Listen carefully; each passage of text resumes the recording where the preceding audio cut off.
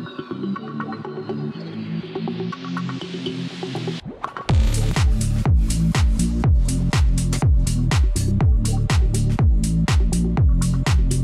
again, this is Robert Veach here. This is my video review of the maXpeedingRODS brand, their Level 2 EV Charger. This is the box that came in and we're going to open it up and see what's inside. It's a really nice looking box and it's got some uh, heavy duty cardboard in here because this product has some good weight to it because it's very solidly built. Let's open this up and take a look at what's inside. So I opened up the top, there's a big cardboard piece protecting this. And this is the charger wrapped in plastic. Going to take that out. So here's everything out of the box. And the first thing I noticed is it is extremely heavy duty, high quality. These cables, I've never seen cables this thick before on this 50 amp connector. Unbelievable. Here's the RFID that you're going to be passing over here to get the thing to start. Um, just incredible. We're going to show the mount system. This is the included holder you can put on the wall with the included screws. And to mount the charger, it has these really large butterfly metal screws. And there's a good reason for that. This thing weighs and you want to be able to hold it securely. Comes with a really nicely written instruction manual there's a three-year warranty on this product from the manufacturer, which is really impressive. Most are just a year. And a certificate approval talking about that it was passing all the tests for the person that was assembling this. So this is a level 2 EV charger with a Wi-Fi connection and it's going to be talking to an app called We eCharge. We're going to show that. I have it loaded on my phone already. It uses the universal J1772 connector, which has this nice silicone holder on there. And that's a universal connector that a lot of cars use. I'm going to be testing this on a Kona EV that I own, but this works with a large number of cars out there. If you have a Tesla, you just have to get it adapted to convert this to the Tesla standard. It has a push switch right here that allows it to engage and disengage. And a wall mount holds it in place on your wall once you mount it really nice.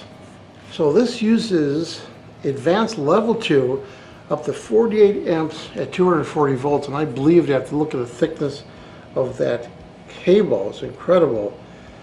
So this has a NEMA 1450 male connection on there and you can put this directly to the 1450 plug. Let's take this off and take a look at it. These massive connectors on there. Unbelievable. But you can look this up and most homes will not have that. You'll have to have that installed by somebody or yourself.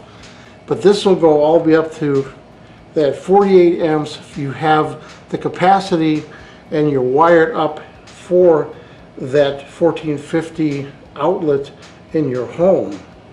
Now this software is going to allow you to adjust this from 16 to 24 or 32 or 40 amps and the app can be used so you can set the amperage for your home.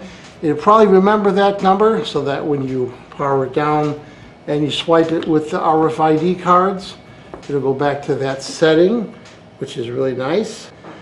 Now that Wi-Fi connection is really nice because this app is going to allow us to control and monitor charging remotely and get notified when the car is charged and fully charged and uh, allow you to even set the time it's going to charge so that you can get lower energy bills. This company will provide, as I mentioned, uh, not only do they have a three-year warranty, but they have 24-7 customer support. You can email them directly on Amazon messaging system. This cable, by the way, is so thick and high quality and it's 24 feet long. That means you'll be able to reach your car wherever it's parked in your garage and wherever the charging port is on your car. That's crazy. And this is also IP65 tested, designed for indoor or outdoor use. So you can put this outdoor and then nobody could use it other than yourself with these RFID cards or with the app that you have set up your account. And this is set up even for harsh environments so that you can put this outdoors if you want to have it on your garage or on a pedestal. Even in a commercial application, you could use this quite nicely and have a professional charger outside. On the side of the unit, I wanted to show you, it has a nice label here talking about the specs on this and some warnings and things to help you use this properly. There is a manufacture date and there is a code that we're going to be scanning with the app to actually test this out and test that software out. You notice on the side here, there's these nice screws that you can tighten and this is the actual mount on there and this is what's going to be sliding up and down on and you're going to be using those butterfly bolts and screws to hold this on your garage wall. If you happen to hit a stud, then you're going to just use a regular long screw, but uh, we're going to be installing it using those four butterfly bolts and then be tightening it on the sides right here. On the side of the unit, I wanted to show you something important. You see that UL listed right there? That is on the side, and that's very important. That tells you that this has been tested and it's safe, water resistant, materials are fireproof, that's a real important thing on something where you're charging your car. So that's very good to see that.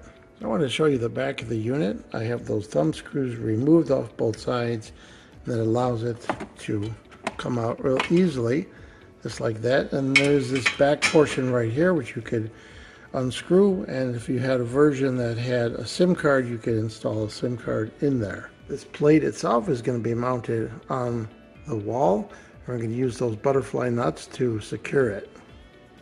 So here I'm in my garage and I have the maXpeedingRODS EV charger powered on plugged in and you can see the indicator light right there these are all just display lights, they're not push buttons. On the side of the unit there is a QR code. We're going to be using that with the app so that it recognizes this charger. So we're going to use the manual and we're going to do method 2 using a Pixel 6 and make sure that your your Wi-Fi make sure that your Wi-Fi is turned on because you're going to need to use the Wi-Fi for these steps. You're also going to have to download this ESP Touch. So here's the app that we installed. We're going to just try the ESP Touch. There seems to be two versions here. And then you can allow it while using the app. So that so it's picking up our Wi-Fi at this point. So now we're going to put our Wi-Fi password in there. So I had to hold it down for it to go. It wasn't just a simple push button. You could see that it's blinking right now. Now it's connecting, hopefully, to our home network. Now we're going to run that software again. So it found it. Let's hit OK. Okay, so now, now we're connected to this, and now this is a hotspot that we could run the other app, which we're going to show you next. So after running this app and rescanning that code that's on the side of the charger, I did get was able to get connected right now to the charger. So now I should be able to use it to charge my Kona. So now I'm plugged in to my electric vehicle, my Kona, using that plug. And uh, I got the app right here. It says tap to charge. So on the software, there is a way to limit the current. You don't hit up there like I was doing. So you could really pick any current you want. So I typically charge this at 24 amps to be conservative.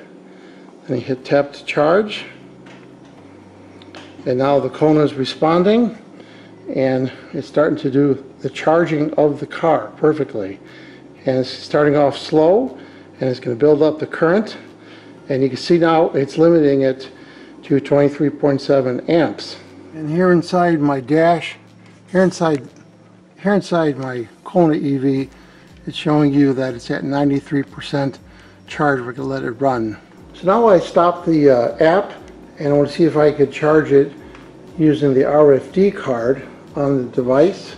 So I go to the device, I swipe that, and then I heard a relay click, and now it should be charging it and should be charging it at that rate that I set on the app. And now you can see that the app recognized that I used the card to start it and it is charging it at that limited current that I set. And if I want to stop it, I could swipe the card and that will stop the charging. And then it says charge end because I stopped it with the RFID card. And now I can go back to the app and turn it back on. And you see it remembered the 24 amps and now it's going back and it's charging the car. And if you notice on the app, it is showing you what voltage is getting, the current, the kilowatt hours, and the information of the current limit of 24 amps. And when you stop or restart it, as I demonstrated, you use the RFID, it should go back to that current. You could even shut the uh, app off. So if I were to take this app and turn it off, and now it's not on my phone, it still keeps charging at the 24 amp rate that I set. So from this point forward, I could just use the RFID card to turn the charger on and off and not even use the app. Now we're at 95% charged. So now it's nearing the end of charge and it dropped the current down to 7.9 because it's at about 99% charge. And now it showed me that the charge is ended and you can see the LEDs on the Kona are off. And I'm in my Kona right now and you can see that it is 100% charged. So after testing, what do I think about the max speed rods? Their EV charger where you can control it with the RFID or the app that I showed and right now it's been charging my car. I've tried it a couple times and it's working great. So this is a cool product. Just have to take the time to get the app, both apps running. The one app which is going to make this device a hotspot for you and remember to hit that button whenever you have to communicate to the Wi-Fi on this device. You see it's blinking because I'm connected to the Wi-Fi, but it's not a fast blink. Fast blink is only when it's seeking. So I like this product. It's very nicely built. It runs really cool also. And I'm going to give this product from Max Speed Rods a full five-star rating. Please remember to hit the subscribe button and the bell icon so you're alerted to new video uploads. And if you thought this review was helpful, please hit the like button. There'll be ordering links in the information and comment section of this video review. When you order this product, please use those links to order to help support this channel. I hope this review helped you with your buying decision. Thank you for watching.